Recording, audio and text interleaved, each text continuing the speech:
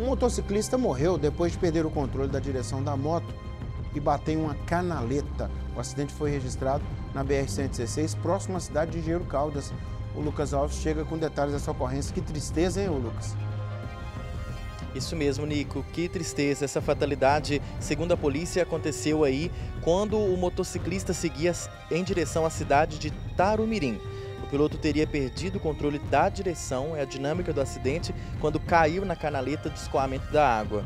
A equipe dos profissionais da Eco Rio Doce, aliás, Eco Rio Minas, compareceu ao local e constatou a morte dele. A equipe da Polícia Rodoviária Federal também foi ao local, é, sinalizou a via. A Polícia Técnica também esteve é, no local e é, no corpo da vítima foi encontrado, que foi encaminhado para o IML de Governador Valadares, foi identificado com, com posse dele uma bucha de substância semelhante à maconha.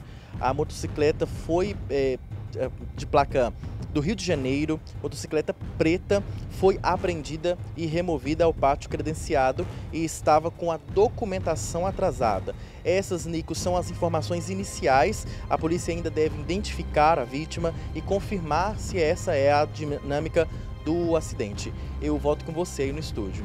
Obrigado, Lucas, pela informação. Né? A gente é, sempre né, pede até licença aqui aos familiares, né, porque esses detalhes da ocorrência que a polícia passa, que envolve o veículo, faz parte desse trabalho de praxe da polícia, né, dizer se o veículo estava licenciado ou não, né, é saber qual foi o problema, se foi um problema de direção, se tinha documento ou não.